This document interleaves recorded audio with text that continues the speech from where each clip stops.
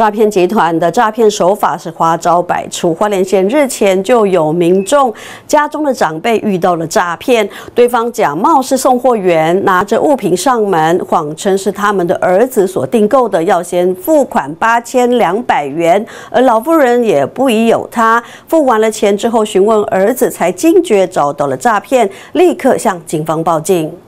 男子背着红色提袋从民宅走出，根本就没骑车，还一边戴安全帽一边慌张的小跑步离开现场。因为他才刚假冒送货员，趁民众家中没有年轻人进行诈骗，就怕被识破，还沿路变装，但最终还是逃不过警方鹰眼小组的查缉。在四月三日中午十一时许，那林姓男子到本辖某处民宅与妇人攀谈之后，告知其儿子有向其购买东西，妇人不疑有他，交付了八千余元。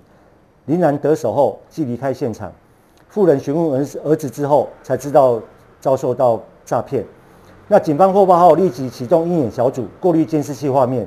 发现林贤沿途变装欲躲过查缉，仍被警方识破，并掌握林贤落脚处。在隔天下午一时许，顺利查获林贤，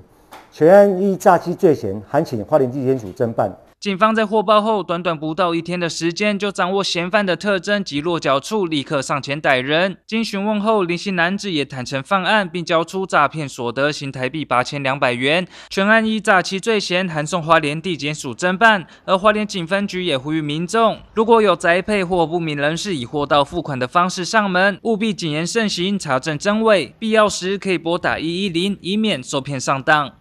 记者徐立琴，花莲市报道。